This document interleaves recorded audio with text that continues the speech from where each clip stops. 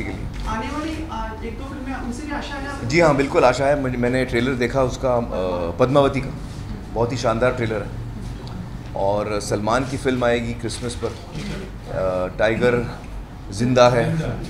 तो ये फ़िल्में जो आने वाली हैं इससे हमें उम्मीद है।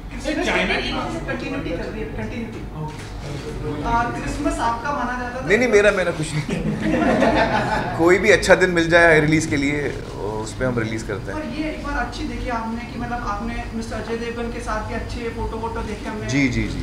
और मिस्टर शाहरुख खान के साथ भी like good time this has been a very good cordial relations हमेशा से रहे मेरे तो हमेशा से रहे कॉर्डियल रिलेशन सबके साथ।